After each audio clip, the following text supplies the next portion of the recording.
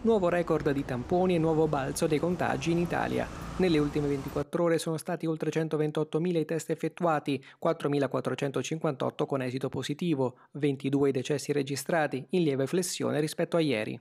Superano quindi quota 338.000 dall'inizio della pandemia i contagi. Oggi sono stati 686 in Lombardia, 491 in Veneto, ma è ancora la Campania a far segnare un clamoroso aumento dei casi, 757 su poco meno di 10.000 tamponi, vale a dire un rapporto oltre il 7%, che è più del doppio della media nazionale, che si aggira intorno al 3,5% e che in Italia a luglio era intorno allo 0,8%, un'impennata evidenziata in maniera eloquente dall'elaborazione della Fondazione Gimbe, che segnala anche il crescere delle ospedalizzazioni dei positivi. Numeri che destano preoccupazione e che giustificano gli inviti alla prudenza, come ribadito anche oggi dal Premier Giuseppe Conte, parlando in collegamento con il Festival dello Sviluppo Sostenibile. Noi dobbiamo, posso dirlo, in Italia essere ancora più responsabili di prima si è concentrato invece sull'età media dei decessi, l'ultimo studio diffuso dall'Istituto Superiore di Sanità.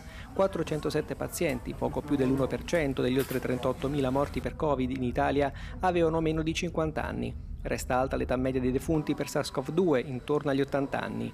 L'insufficienza respiratoria è stata la complicanza più comune nei pazienti defunti, mentre negli ultimi mesi si registra un significativo aumento dei decessi di persone affette da fibrillazione atriale e demenza.